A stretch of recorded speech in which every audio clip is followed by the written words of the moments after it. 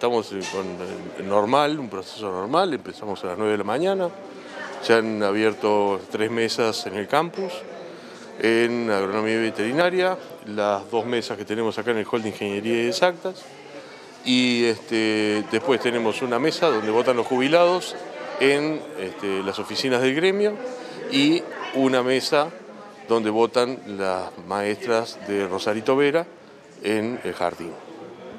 Eh, ¿Cómo marcha la participación de los docentes? ¿Hay bastante movimiento? Ah, por ahora hay bastante movimiento, se ve por lo menos más movimiento en las mesas del hall de Ingeniería y Exactas que en la mesa de agronomía veterinaria, pero tiene que ver con los horarios que manejan los docentes, en los que se mueven y, acceden a, las facultades. ¿Aproximadamente cuántas personas están habilitadas para votar en esta elección?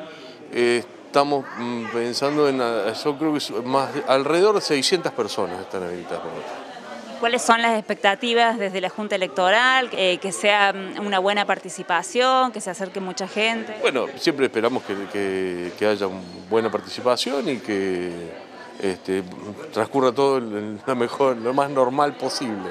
Tenemos una sola lista, este, creo que el, nombre es Participación y Compromiso, y este, eh, cabezada por el profesor Granato, y a las 18 cierra eh, en el campus, cierran las tres mesas del campus.